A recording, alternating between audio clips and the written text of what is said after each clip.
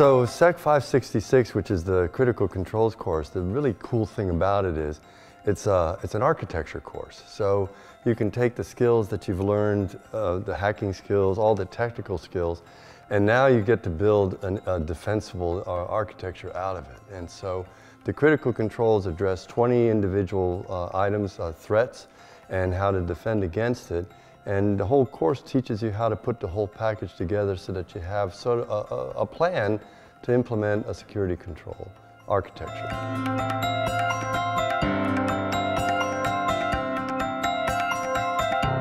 The thing I really love about teaching 566 is I never walk away from, from, uh, from a course like that without having a, about a page and a half of notes and ideas that I got from the students. Um, the, the, guys back in my staff and back in the office, they always kid me. They said, yeah, we know when you're teaching the course because you're always sending us uh, emails that night going, hey, I just found out about this or I found out about that. So the best thing about it is, is the two-way interface between the student and, and myself. And I, you know, I hope I give them examples of how to do stuff, but they certainly have given me lots of words and, and examples to, to try back when I get back to the office.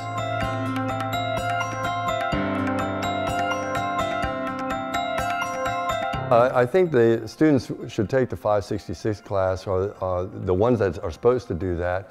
Uh, basically, is you've been tasked with designing a plan to implement a security architecture and uh, defensive security architecture, and also to uh, basically figure out a way to take a high level standard like an ISO 27002 and get it down to the rubber meets the road where you have actual commands to configure systems and networks and things like that.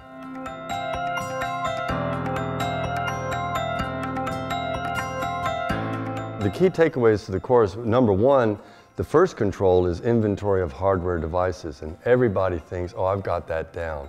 Uh, and when you start look, digging into the details, like are you using DHCP or port address translation or network address translation, or now with IoT devices connecting to your net, they, they get a sense of, man, this isn't as easy as I thought it was going to be. They, they think, you know, I've got everything down, but now, wait a minute, I've got to worry about a thermostat. I have to worry about these other devices. So the key takeaway from that, I think, is figuring out what's on your network. And then once you figure that out, how do I organize uh, uh, an architecture to defend those assets?